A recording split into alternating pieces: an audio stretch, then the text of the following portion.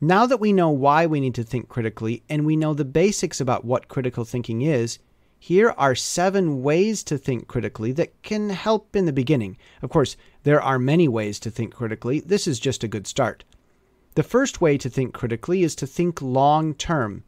This is something like the concept of object permanence. When babies are first growing up, object permanence is one of the first things they have to learn. When mom or dad walk out of the room, they haven't died, they haven't ceased to exist. Even though the baby can't see them, mom and dad still live, and they'll probably come back. Playing peekaboo can help infants understand the concept of object permanence. Look, I don't see mommy. there she is. You mean she's still here even though I can't see her right now? Now, in my opinion, the question about why do good and bad things happen if God is good is really a question about object permanence and long term thinking, but I won't get into that. I'll just say that object permanence is about where most people stop learning long term thinking. As an example, let's take a basic productivity curve. Here you have a way of doing things, and you're pretty effective at it, and you're pretty productive, but then you switch over to a way that's much more efficient. Well, first you have to learn how that works. So productivity goes way down. You're really not very good at it. And you have to learn, and it kind of scares people. And you think, gee, is this really worth it? I mean, I'm doing much, much less work. How long can this go on? And then you start to learn how it works. And things begin to improve. But are they improving fast enough? I mean, it's really not that much better, but then you learn it more and more and more, and then productivity really improves and you get a lot better until finally your more efficient way of doing things finally pays off and you have the better way of doing things. That's a basic productivity improvement curve.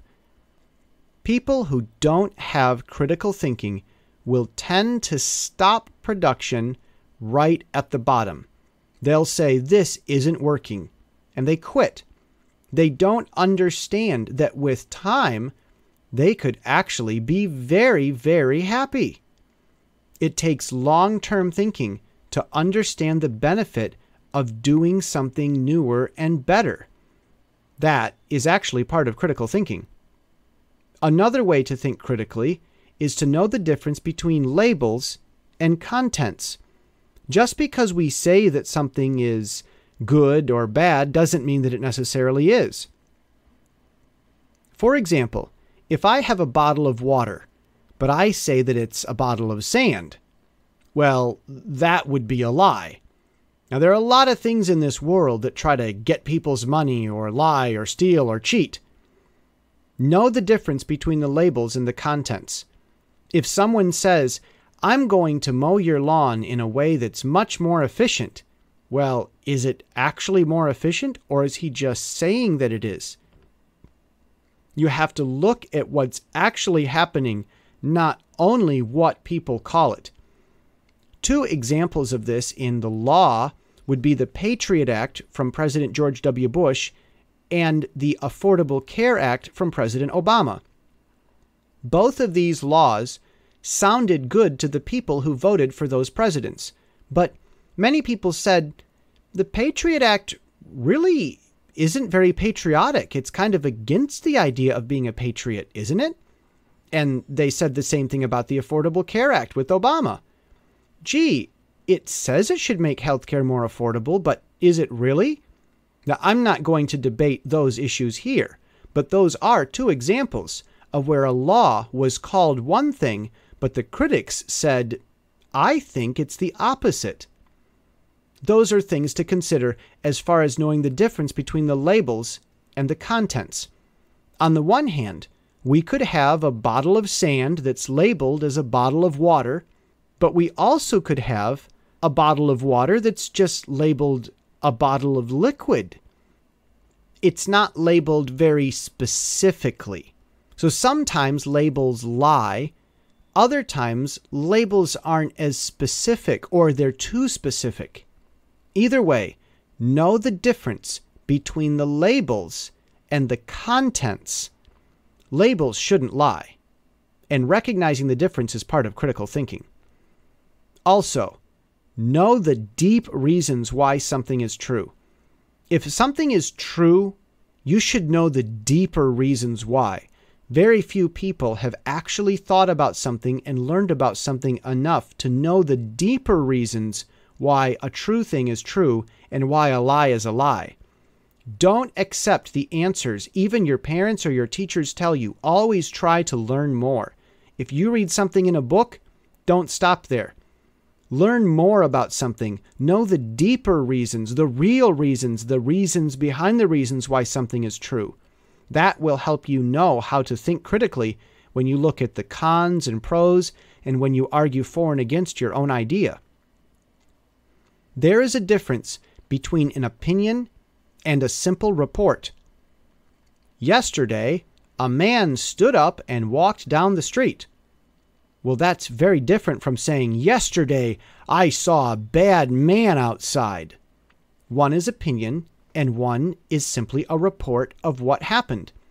Most people can't tell the difference. They really can't. It's very difficult, even at times, for the most experienced critical thinkers to know the difference between an opinion and a report. Always ask yourself this question Is that opinion, or am I reporting something that's true? You'll never stop learning this one. Never. Even if you work in the news industry, you will always be asking this question until you die. Always know the difference and ask the difference between an opinion and a report. That's part of critical thinking. Never assume. Never assume anything. Never be assumptive. The biggest way we assume is with culture.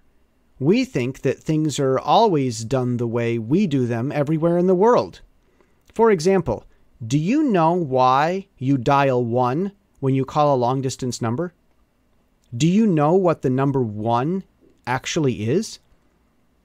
Most people think it's just the way to call a long ways away. Actually, 1 means US and Canada. That's the country code you're actually dialing back into the United States and Canada when you press 1. Most people don't know that. They just assumed. Never assume. One of the biggest ways to assume is with different cultures.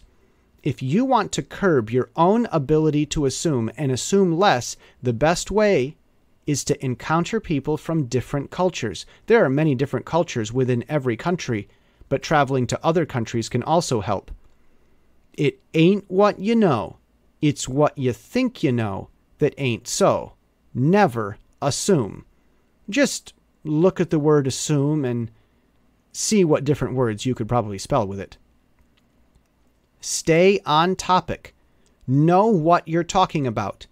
When you're thinking critically, different ideas will come up, different things to consider. It's easy to get distracted when you're arguing about different points, that doesn't mean fighting, that just means arguing. This is good, that's bad, well, why? That's called an argument. When you're having those arguments with friends and other people, it's easy to get off topic and talk about other things. If you want to change the topic and rabbit trail, that's okay. Just know that you're doing it. Stay on topic, and if you leave the topic, at least know it. But don't keep talking about something as if you're still talking about something when you've actually changed the topic and you're talking about something else altogether. Know when you're on topic and know when you're getting off topic. Staying on topic is part of critical thinking. Seventh and last here, know the difference between effort and results. People who try to take your money will use this against you they will say, Well, I'm trying. I'm really, really trying. I'm really, really trying. This is something that politicians from every political party do all the time. I'm really, really trying. It's just hard.